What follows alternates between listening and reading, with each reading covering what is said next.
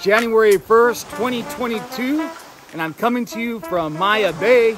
And it's a special day because this marks the first day that Maya Bay has been open in almost three years. So before the pandemic, the Thai government shut down Maya Bay. Why? Because the entire ecosystem had died. All the coral reef, all the fish, all the sharks, all the natural habitat had died. And if you look back at pictures from three years ago with all the tourists on this beach, you can see why that happened. Maya Bay used to get 6,000 tourists a day, and it pretty much killed the entire ecosystem. So now it's the grand reopening, and they're doing this reopening by putting sustainability in the environment first. So there's some new rules for visiting Maya Bay, which I will share with you shortly. And just up here, we have a volunteer from Ocean Quest, Maryz, and she's going to describe uh, some of the work that the volunteers did to help restore the coral reef here. My name is Maryz, I work for Ocean Quest and I help to restore the area in Maya Bay. Three years ago, we started a project and Maya Bay was completely destroyed. No coral, no fish, no sharks, no nothing. And Ocean Quest and all the volunteers come here. At the beginning, everything was dead, so we plant coral and we rebuild the reef. So now you can see all the brown patch. We almost plant all this coral. This project has been successful because the fish are come back, the reef are come back, the shark are come back, and the nature come back on the island. So we hope uh, it can be a beautiful example for the next ecotourist. Uh... So thanks to Maryz and her team at Ocean Quest and all the volunteers, the Maya Bay ecosystem is making a comeback. It's rebounding. You have coral reef, you have natural species, they're all coming back. A little backstory on when the destruction began of Maya Bay with all the tourism. It was really the result of the movie called The Beach that starred Leonardo DiCaprio. If you remember the scene in that movie, he was sitting right here uh, with his fellow actors admiring this pristine beach. But when they set up the scene, they actually ripped out a bunch of the uh, natural, what they called shrubs or bushes, and they planted some trees but what they did when they did that, when they ruined the landscape, the natural landscape, sure enough, the water eroded those areas and Maya Bay lost most of its beach. And then part two was, once the movie was distributed around the world, that's when 6,000 tourists started showing up right here every day. Uh, but it's uh, there's new rules now. The environment comes first, and I'm going to share with you a little more description on not only how to get here, uh, but what those rules are, it's now capped. So you no longer are allowed just to have boats come into this uh, bay, and there's a limited number of people that can come here each day. If we look at the pandemic, we know there's been a real significant human toll, but it's also been a really good thing for places like Maya Bay, because now at Maya Bay, the coral reef is back. There's like all these little sharks that don't bite you that are swimming around here in the ocean. You can actually see them. So a lot of the natural habitat is being restored. So as you can see, tourism is returning to Maya Bay, but it's really controlled. Uh, a lot fewer people. Lake, hey, go Lakers. Hey. How's it going? Great. Good, good. So uh, where are you from? I'm from Mexico. Mexico. Yeah. And what brought you to Maya Bay?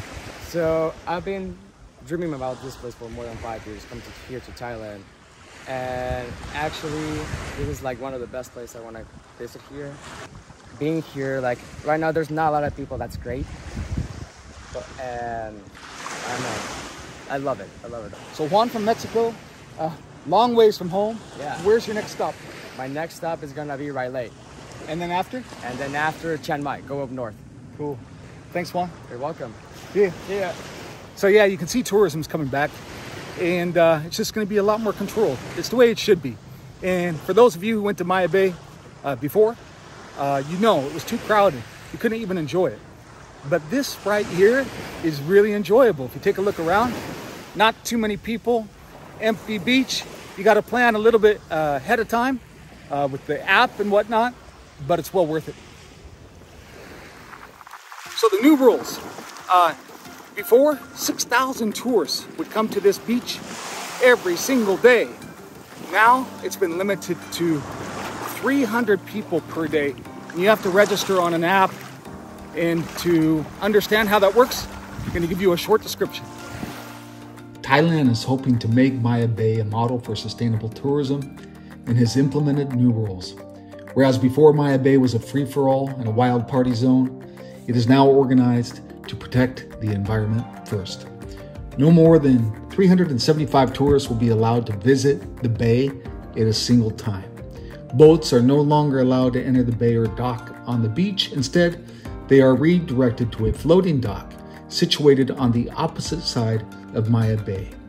Before arriving at Maya Bay, tourists must reserve a time slot by using the app QQ, that's Q U E Q. Visiting times are 7 a.m. to 6 p.m.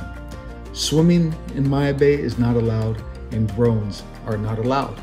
For the trip to Maya Bay from Phi, I skipped the organized tours and hired a longtail boat. The cost was $50 for four hours.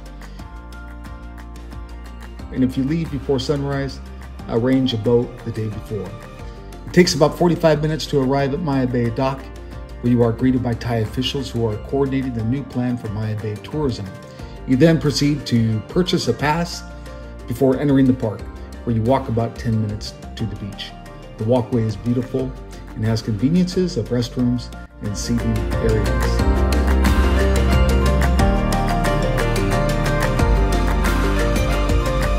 Getting to Phi from Phuket takes approximately one to two hours. I chose to travel by speedboat from Phuket to Phi The one-way ticket was 700 baht or $20. It was about a 90-minute trip. The departure point from Phuket is Rassada Pier, which is located near Phuket town. Check the weather though. If the waters are rough, it may be best to take the ferry. We hit bad weather, which made for an unpleasant trip with screaming kids and half the boat vomiting.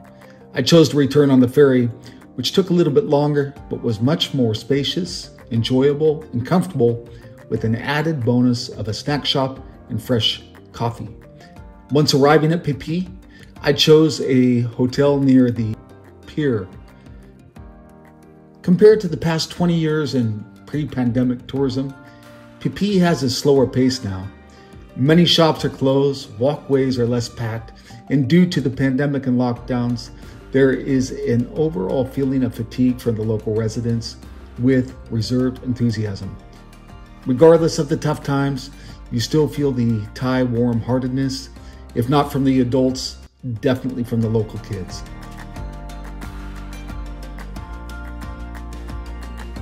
And already, some of the tourists showing up at Phi make it feel like nothing has ever changed since pre pandemic times. Many businesses remain closed. Businesses on the main thoroughfares benefit from foot traffic, but the symbols of the pandemic and the devastated economy remain with many shops abandoned. With the new, slower pace of Phi, it is a nice time to visit, especially if you don't like crowds. I imagine even some of the locals prefer it this way. For a list of links on Google Maps, to all the locations of this video, go to the uh, description. The fourth one in Maya in New Year. Yeah. 2002. Okay? Bye bye.